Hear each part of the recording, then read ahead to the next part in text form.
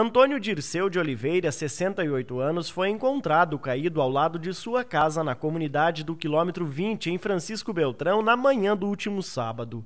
Ele estava com um ferimento na cabeça e uma equipe do SAMU chegou a ser acionada, mas apenas constatou a morte da vítima.